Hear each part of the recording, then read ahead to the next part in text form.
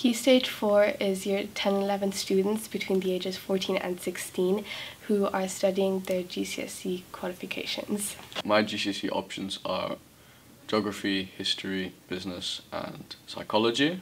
My options are art, history, economics and psychology. My options are history, geography, media and drama. My options are for the maths, psychology, economics and geography. We got a lot of support. One of the main support that helped me decide what I should take is that we got to interact with the older students and figure out what would be needed in the course. Uh, we had options evening where we can talk to different teachers about our options. That really helps me because I can learn more about the subjects and the curriculum. It also helps me talk to my parents about the different subjects and finally decide on what subjects I want to do in my future GCSE. The support I got for my options uh, was the Taster Week, uh, which is a GCSE type of lesson, and the one that stood out for me the most was psychology.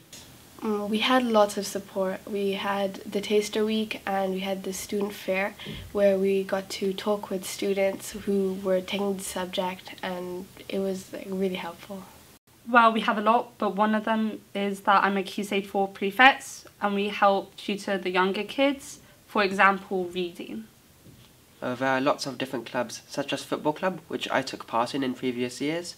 There's also a football pitch, so that during break and lunch I can get fresh air, run around and play with my friends. We have lots of opportunities. Um, for example, we have the student parliament, which I'm part of. Um, I'm in the student parliament, um, the Ministry of Student Learning and Achievement.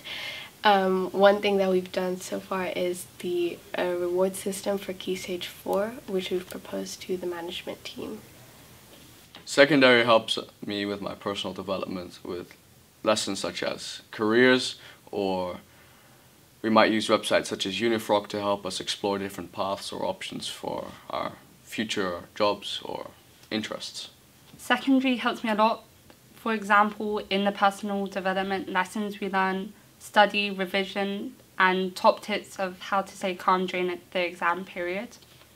The school does a lot to help us with our personal development, such as we have a form tutor who every morning tells us different facts about what's happening around the world, and we can also go to our form tutor if we have like a problem, let's say, and we can discuss it and resolve it. So each week we have an hour of personal development or PDV lessons um, where we learn about relationships and well-being and careers and it's just really helpful for us as we get older. Diversity because I have friends from all over the world. Motivated because teachers are motivated to help us and we're motivated to learn. Opportunities because we have so many opportunities in lessons and outside too. Friendly because there's a nice community, everybody's very supportive.